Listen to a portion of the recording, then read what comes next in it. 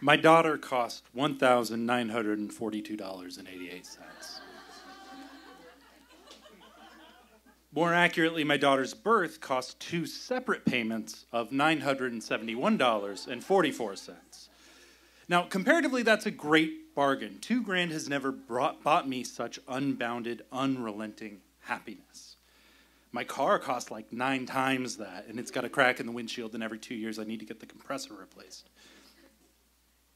It was a week after we brought our daughter home, just before Christmas, when my wife got a call from Kaiser. We owed $971.44 for unpaid expenses related to our daughter's birth. But we already paid that before we left the hospital, my wife told the person on the other end, to whom this startling revelation meant absolutely nothing. Sleepless and unable to muster the energy to argue, we begrudgingly paid the duplicate fee, but I couldn't help but wonder if we didn't pay, what would they do? Send a repo man? Put my daughter back in? I mean, surely by this point she's grown slightly too big for her previous dwelling, like a hermit crab.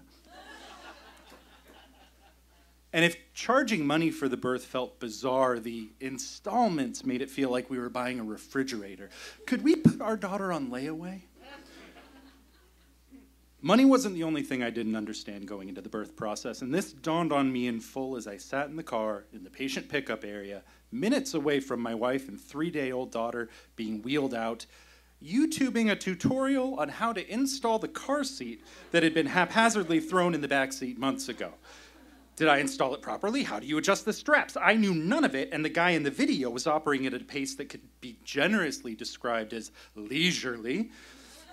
Hey, YouTube tutorial guy, my, we gotta hustle. A nurse is on her way to the car with my wife and baby, and if this car seat isn't ready to go in the next three minutes, they might take the baby away and tell us through squinted eyes and a sneer, Oh, so sorry.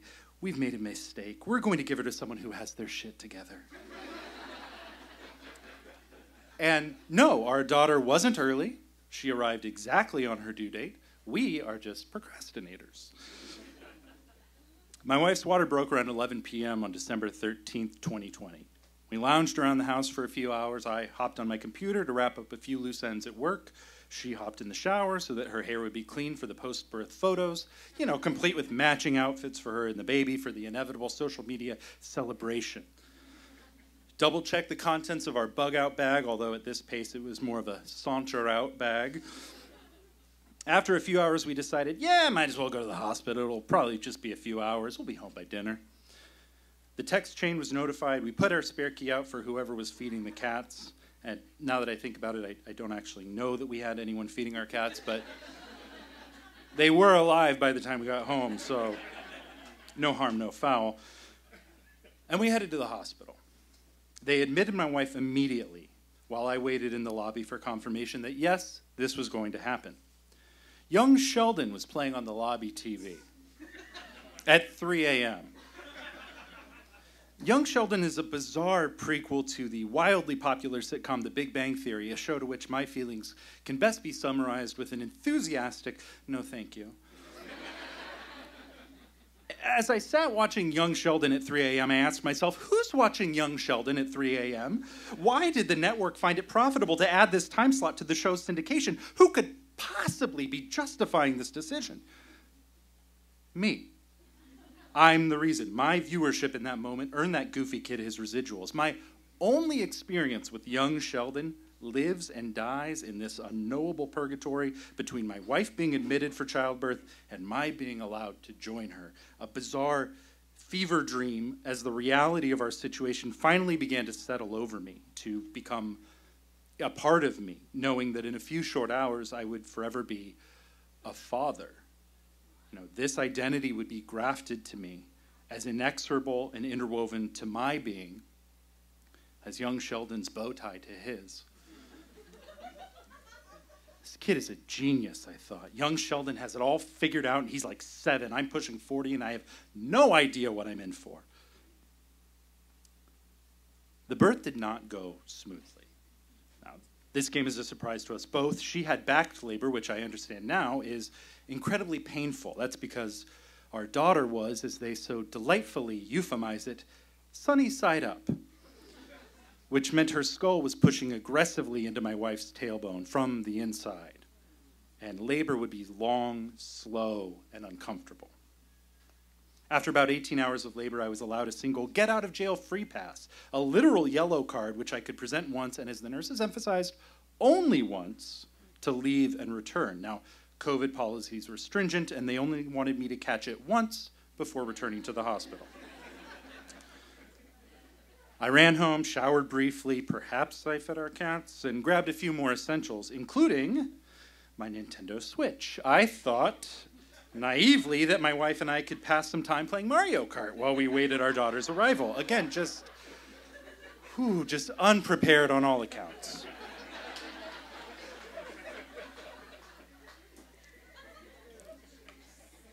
I returned to the hospital, sent the requisite follow up text to friends and family, no baby yet, and we waited. Well, more ac- accurately, I waited. My wife was in excruciating pain and working so damn hard to push this baby out of her, and there was truly nothing I could do. It was David versus Goliath, except David was back rubs and you can do it. And Goliath was the face melting pain of back labor. They brought in two specialists to try to flip the baby. Huh, I thought. I bet they'll massage her belly and try to coax the baby to flip over. No. Massaging the belly would not be in the cards. Flipping the baby is, I would venture, the process by which the term invasive procedure was, was coined. I do recall at one point wondering where the majority of the nurse's arm had gone.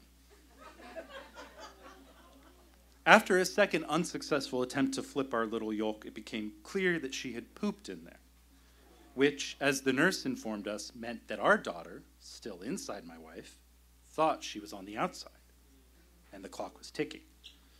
The hazy hypotheticals of potential parenthood snapped into focus as the nurse gave my wife a choice.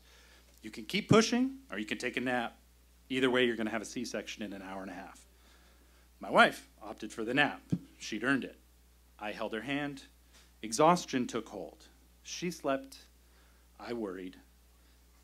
C section. You know, net, yet another thing we had not anticipated. Even though we knew one third of babies are delivered by C section, we didn't plan to do it, and the thought of it happening just honestly never even entered our minds. I scrubbed up and joined my wife and a team of doctors and nurses in the operating room. A fleeting thought entered my mind. These floors are very clean.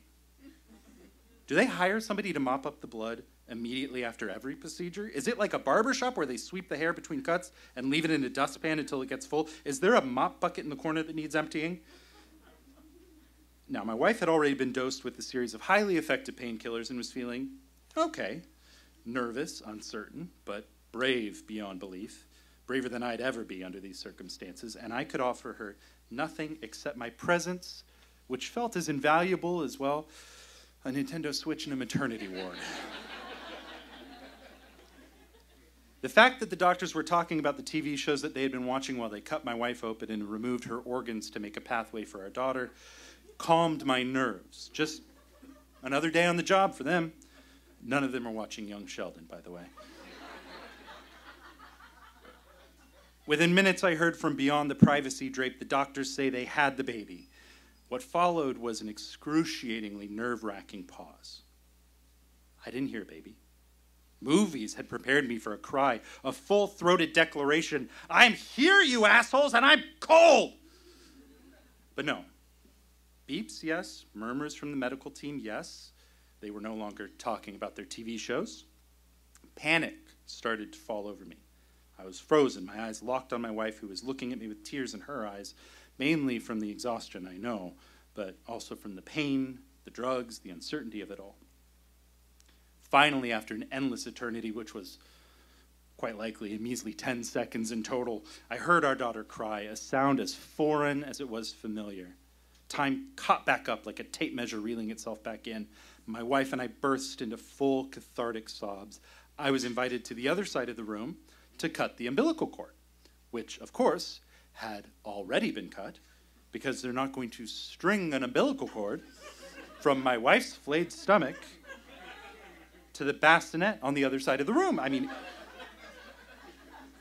it would be a tripping hazard.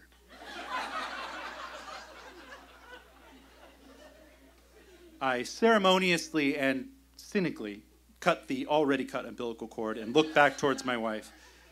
That's when I saw a doctor holding something large and red in his hands, like you would a wet rag, and begin to put it back inside her belly.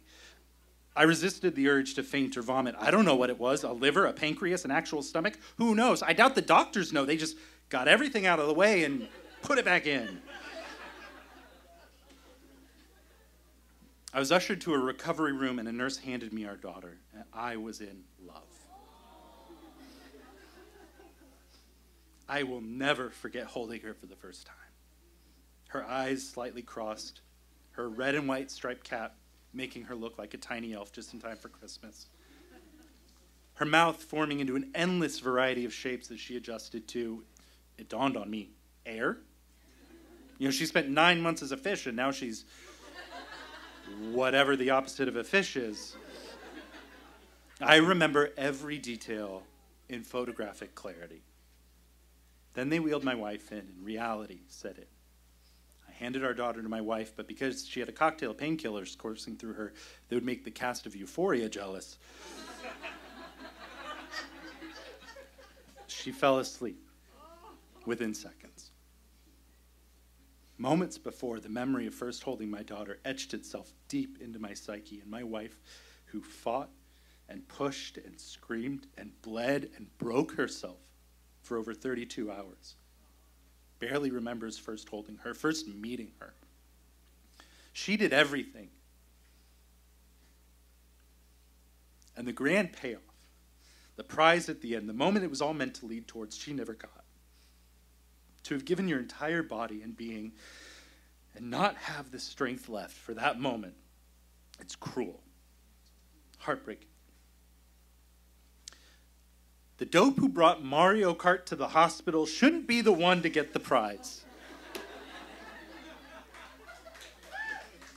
Simply not fair.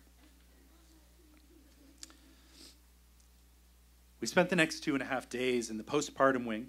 Now, because we were in the thick of COVID, we were expressly forbidden to leave our little room for the entirety of our stay, not even to stretch our legs in the hallway. Everything had to be called for and the nurses made it a point to let us know that they did not appreciate being called in for such trivialities as a glass of water so I don't die of dehydration, please.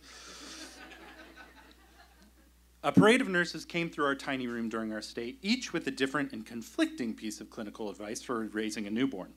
A different way to swaddle the baby, all of which failed. Our daughter is an escape artist, which is odd because she had a hell of a time escaping from her mother a different foolproof way to get her to latch, and it hit me. Nobody knows what the fuck they're doing. Doctors don't, nurses don't, lactation consultants don't, parents don't. I definitely don't. And not for lack of trying or training, there's just no one right answer to basically anything.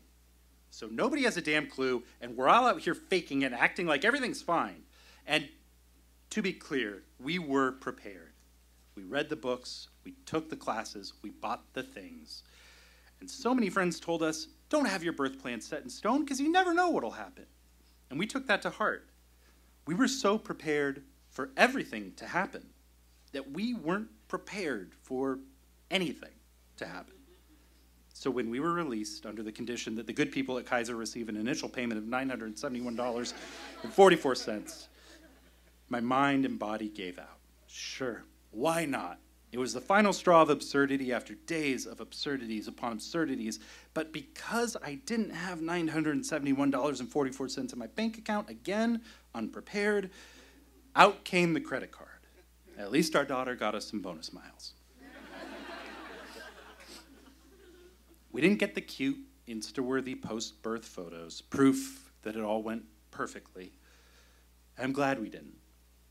Besides, I like our photos better raw, pained, tired, excited, fucking terrified, in love, even though we don't know what the fuck we're doing. AJ Knox, everyone. AJ Knox.